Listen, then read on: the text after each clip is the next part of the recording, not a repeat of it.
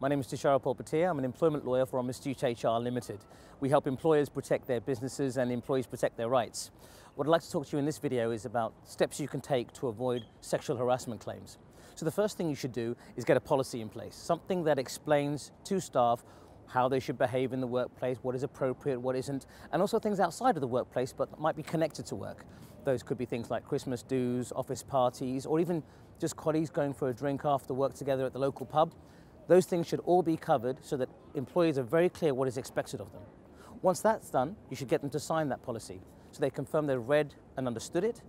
And the third thing you need to do is make sure it's implemented properly. That means training your staff on those documents. Don't just make it a paper exercise or a tick box. Make sure they actually know what is expected of them.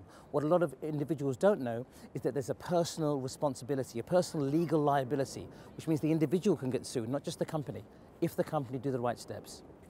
For more useful HR employment law tips, please watch our series of videos.